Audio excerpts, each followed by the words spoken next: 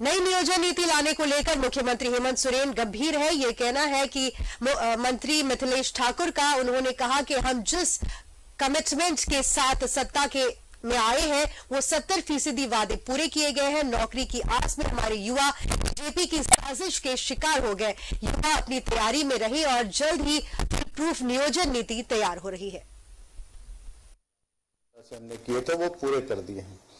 और हमारे राज्य के जो छात्र जो हमारे युवा बेरोजगार हैं जो नौकरी की आस लगाए बैठे हैं, वो एक साजिश का शिकार हुए। नियोजन नीति लागू की थी, लेकिन भारतीय जनता पार्टी के लोगों को ये रास नहीं आता है, जिनको नौकरी की ज़रूरत नहीं थी, जो भारतीय जनता पार्टी के वरिष्ठ नेता हैं, वही जाकर हाईकोर्ट में रिट उनके द्वारा किया गया और उनके साथ साथ जो याचिकाकर्ता और थे वो सभी लोग दूसरे राज्यों के थे। जो जिस नौकरी के योग्य हैं मैं उनसे कहूँगा कि पूरे तन तन्मयता के साथ अपनी तैयारी करें। और राज्य सरकार माननीय मुख्यमंत्री उन सबको उनकी योग्यता के अनुसार हम लोग नियोजित करने